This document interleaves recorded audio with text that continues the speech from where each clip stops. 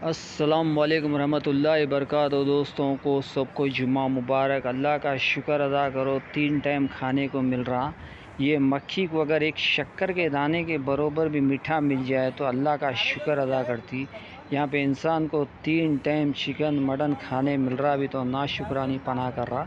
इसको देखो कैसे तड़प रही है। सिर्फ़ एक दाने के मीठा निकालने के लिए कितनी मुशक्क़त